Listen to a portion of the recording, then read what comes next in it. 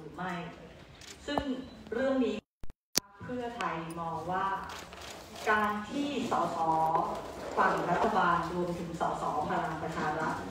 กำลังกระทำอยู่นั้นเนี่ยเป็นการเตะถ่วงเวลาที่ซ้ำซากค่ะ แถมยังเป็นพฤติกรรมที่ฝืนความต้องการของประชาชนและกำลังลากน้ำมันลงสู่กองไฟค่ะ เพราะที่ผ่านมาเราไม่ได้เพิ่งพิจารณาเรื่อง ร่างรัฐธรรมนูญเป็นครั้งแรกนะคะ เรามีการตั้งคณะกรรมธิการพิจารณาการแก้ไขรัฐธรรมนูญมาแล้วก่อนหน้าหนึ่งคณะ ก็คือมีคุณมีคุณไพบูลนิติตะวันร่วมด้วย แล้วก็คุณมีคุณสมชายสงการร่วมด้วย โดยขณะนั้นเนี่ยมีคุณพีรพันธ์สาลีรัฐวิภาคเนี่ยเป็นประธานในชุดดังกล่าว เมื่อมีการตั้งคณะกรรมการโดยสภาผู้แทนราษฎร และผ่านวาระที่หนึ่งไปแล้วทั้งคุณสมชายแสวงการและคุณไพบูลย์นิติตะวันก็นั่งอยู่ในคณะกรรมการชุดดังกล่าวนี้ด้วย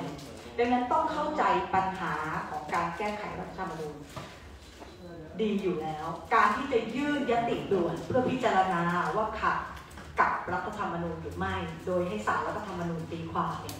จึงแสดงจุดยืนและเป็นความชัดเจนของรัฐบาลชุดนี้ค่ะ ว่าไม่อยากให้มีการแก้ไขรัฐธรรมนูญปี 2560 สิ่งเหล่านี้รัฐบาลพยายามที่จะละละเลยเสียงเรียกร้องของประชาชนค่ะ ถ้าเราติดตามมาตลอดเราจะรู้ว่าประชาชนมีการเรียกร้องการแก้ไขรัฐธรรมนูญตั้งแต่มีการชุมนุมตั้งแต่ปลายปี 63หนึ่งในข้อเรียกร้องของประชาชนก็คือการแก้ไขรัฐธรรมนูญปี 60 นอกจากนี้เนี่ยเราจะเห็นบทบาทของภาคประชาชน โดยเฉพาะไอรอค่ะ ถึงขนาดเข้าชื่อรายชื่อของประชาชนแก้ไขรัฐธรรมนูญได้เกือบ1นึ่งแสนรายชื่อ รายชื่อจริง ๆ มีแสนกว่า แต่เมื่อผ่านการตรวจสอบเนี่ยมีประมาณ9ก้าหมื่นกว่ารายชื่อ แสดงให้เห็นถึงเจตเจตนารมณ์และเจตจำนงของประชาชนอย่างชัดเจนที่ต้องการแก้ไขรัฐธรรมนูญค่ะ แต่ท่าทีของรัฐบาลและสส ฝั่งรัฐบาลรวมทั้งพลังประชารัฐขณะนี้ค่ะกำลังเมินเฉยค่ะ เหมือนไม่เห็นประชาชนในสายตาค่ะ รัฐบาลควรเรียนรู้นะคะว่าบทเรียนของประเทศเพื่อนบ้านอย่างเมียนมาค่ะ การใช้อำนาจในการกดทับประชาชนด้วยอำนาจรัฐค่ะ รังแต่จะสร้างปัญหา และทำให้ประเทศนี้ไม่มีทางออกค่ะ นั่นคือท่าทีของพรรคเพื่อไทย ที่อยากให้รัฐบาลพิจารณา เรื่องนี้ในกระบวนการนิติบัญญัติกระบวนการของสภาผู้แทนราษฎรค่ะค่ะสำหรับประเด็นในการแถลงถัดไปค่ะ จะเป็นท่านวรวัตรเอื้ออภิญญาคุณค่ะ ขึ้นมาแถลงข่าวในประเด็นตู้ปักโกงค่ะ ขอนำเรียนท่านวรวัตรเอื้ออภิญญาคุณค่ะ ตู้ตั้งโกง อเรียนเชิญค่ะ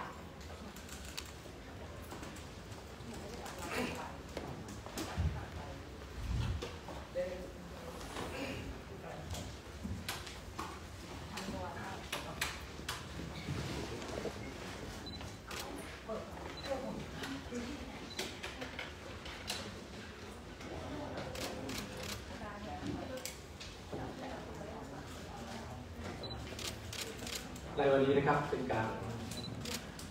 ขับเคลื่อนของพรรคเพื่อไทยครั้งหนึ่งนะครับโดยการที่เราวิสัชพรรคนะครับเราเห็นว่าในช่วงที่ผ่านมานั้นนะครับพี่น้องประชาชนเนี่ยได้รับความลำบากมากจากหลายๆเรื่องนะครับวันนี้พรรคเพื่อไทยเปิดตู้ต้านโกงนะครับตู้ต้านโกงเพื่อที่เราจะเป็นศูนย์กลางในการรับเรื่องราวการทุจริต คอร์รัปชันจากพื้นที่ต่างๆ แล้วจะนำไปสู่การทำงานของคณะกรรมการในสภาผู้แทนราษฎรรวมถึงสมาชิกสภาผู้แทนราษฎรด้วยนะครับบางเรื่องท่านจะเห็นในการอภิปรายไม่ไว้วางใจ เราเชื่อว่าการขับเคลื่อนในครั้งนี้ จะทำให้ข้อมูลที่เรามีอยู่นี่ครับสมบูรณ์ขึ้นนะครับพรรคเพื่อไทยนี้เราไม่ได้ทำงานเฉพาะที่สุดกลางนะครับ เราจะมีเครือข่าย ของตู้ใต้โปร่งของเราเนี่ยนะครับไปในทุกจังหวัดนะครับเราจะรับเรื่องราวจากทุกพื้นที่ เพราะฉะนั้นพื้นที่ใดนะครับ ที่ตอนนี้เห็นว่ามีประเด็นปัญหาได้รับความไม่เป็นธรรมเกิดการทุจริตคอร์รัปชันนะครับแล้วท่านเห็นว่าอยากจะทำงานร่วมกับพรรคเพื่อไทยนะครับยินดีที่จะรับทุกท่านมาผลึกกำลังกันในการที่จะนำข้อมูลต่างๆจากทุกพื้นที่ เข้ามาสู่การวิเคราะห์นะครับแก้ไขปัญหา อาจจะติดตามการทำงานของทุกส่วนราชการนะครับที่เกิดขึ้นในพื้นที่ วันนี้เราเห็นนะครับว่าปัญหาเกิดขึ้นเยอะมากนะครับ แต่ขาดการติดตามแก้ไขอย่างชัดเจนบางเรื่องเป็นการเรื่องของการใช้งบประมาณนะครับที่ไม่มีประสิทธิภาพศูนย์เปล่า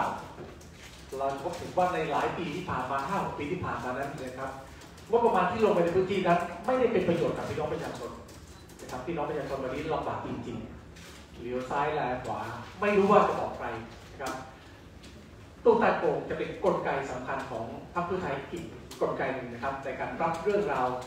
ปัญหาต่างๆในทุกพื้นที่นำมาสู่การแก้ไขปัญหานะครับเพราะฉะนั้นวันนี้พี่น้องประชาชนทั้งประเทศจะมีเพื่อนนะครับ คู่คิดคอยติดตามแก้ไข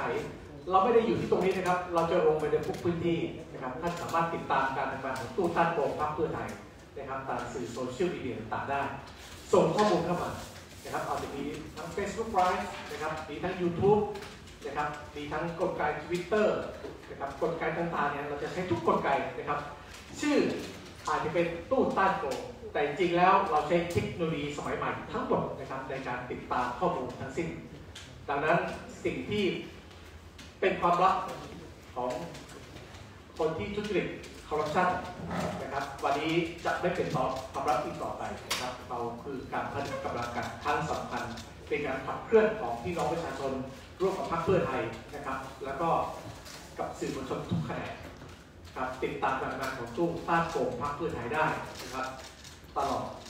ทุกเรียนนะครับ แล้วก็อย่าลืมนะครับครั้งนี้ติดตามการอภิปรายของพรรคเพื่อไทยในสภาผู้แทนราษฎรด้วยนะครับท่านจะเห็นข้อมูลที่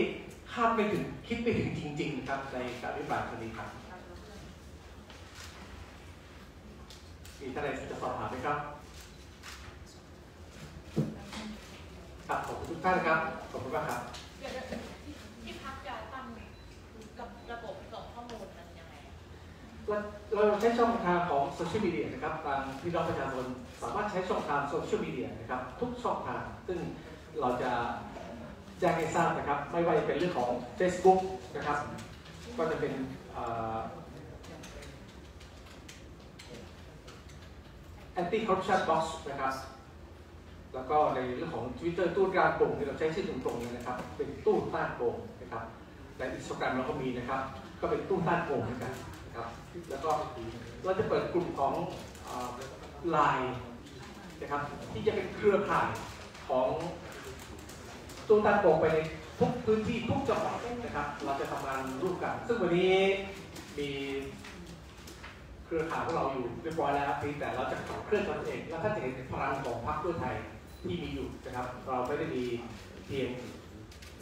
ในพรรคนี้นะครับ แต่เรามีพี่น้องประชาชนที่เป็นเพื่อนของเรานะครับเป็นสมาชิกของเราทั้งประเทศนะครับท่านติดตามในส่วนนี้ได้เลยครับผลผลการคาดหวังหรือว่าความคาดหวัง ที่จะนำไปต่อยอดจะจะนำไปดำเนินการยังไงบ้างในเรื่องของการทำสู่การทำงานโครงการต้นตาลโป่งเนี่ยนะครับ เราเปิดผลิตกำลังเครือข่ายที่เรามีอยู่รวมถึงสมาชิกพรรคของเราเองที่มีในทุกจังหวัดนะครับเราจะรับข้อมูลเข้ามา แล้วเราจะนำมาตรวจสอบวิเคราะห์ เสร็จแล้วจะเราจะส่งให้คณะกรรมการ แล้วก็สสดำเนินการในสภาผู้แทนราษฎ รวมถึงบางประเด็นนะครับ อาจจะมีส่งถึงปปชตีแผ่ติดตาม บางเรื่องเราจะลงไปในพื้นที่ด้วยนะครับ เราไม่ได้ว่าเพียงแต่รับข้อมูลเท่านั้นนะครับ การ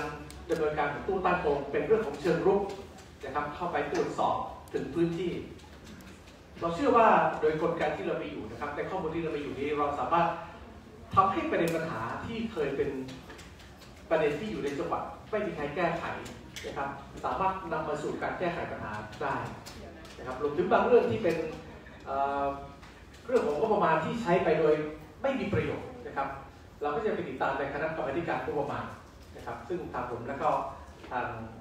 พรรคเพื่อไทยในเราอยู่ในกลไกนั้นอยู่แล้วนะครับเพราะฉะนั้นการตรวจสอบครั้งนี้จะเจาะลึกเข้มข้นและเตรียมการเป็นอย่างดีครับ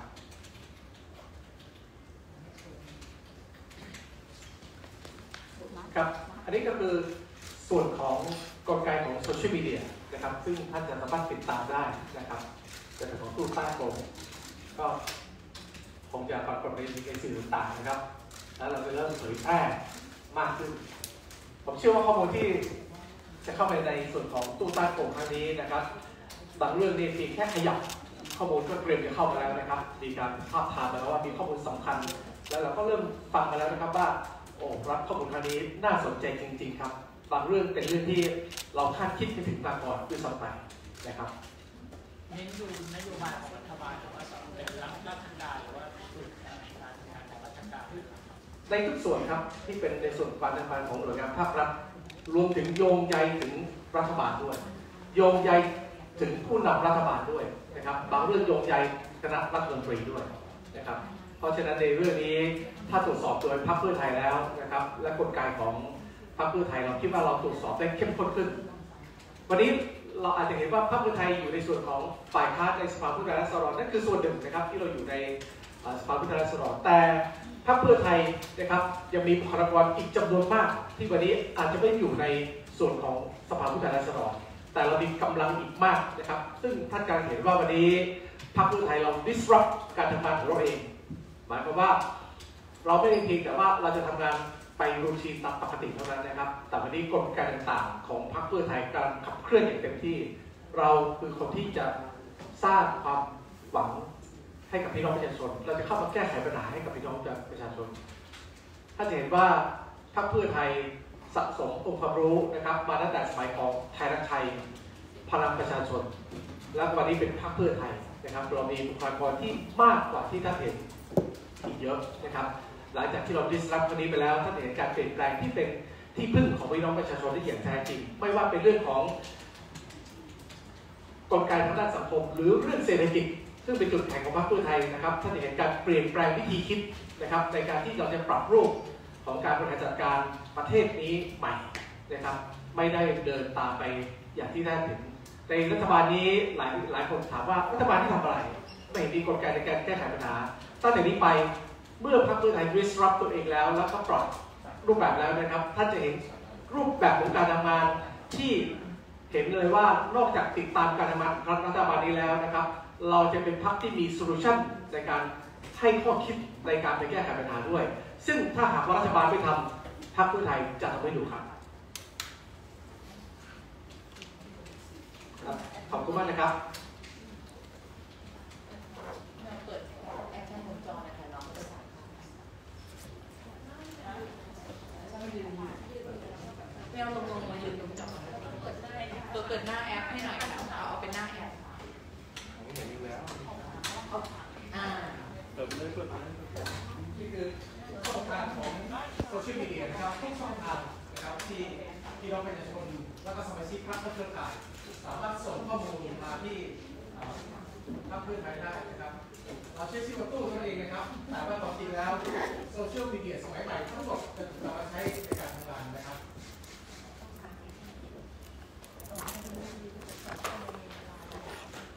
หลังจากนี้คือแน่นอนครับได้ติดตามการทำงานอย่าง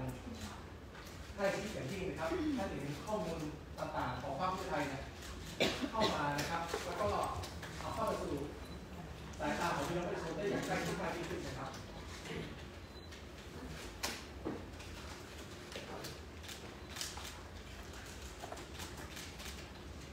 เดี๋ยวหลังจากวันนี้เราคงจะมีโอกาสทำการร่วมตรวจสอบกับพี่น้องสื่อมวลชนนะครับข้อมูลเราจะถึงกัน สิ่งที่พรรคเพื่อไทยรับมานะครับ เราก็จะมาได้เป็นกับพี่น้องสื่อมวลชนทั้งนะครับ